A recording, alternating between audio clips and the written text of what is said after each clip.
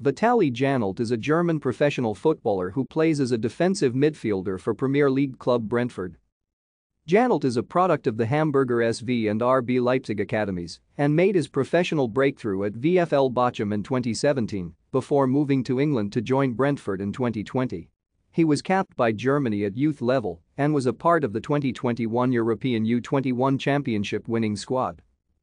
After beginning his career with spells in the youth systems at Bargfelder SV, SSC Hagen Ahrensburg and Hamburger SV, Janelt joined the academy at RB Leipzig in 2014 for a fee reported to be €150,000. He signed a five-year professional contract in July 2016 and progressed to the reserve team, for which he made six Regionalliga Nordost appearances during the 2016-17 season. Prior to Janelt's departure from the Red Bull Arena at the end of the 2017-18 season, disciplinary issues led to him spending 18 months away on loan. He failed to win a call into a first-team matchday squad during his time with RB Leipzig. On 3 October 2020, Janelt moved to England to sign a four-year contract with Championship club Brentford for an undisclosed fee, reported to be €600,000. Thank you for watching.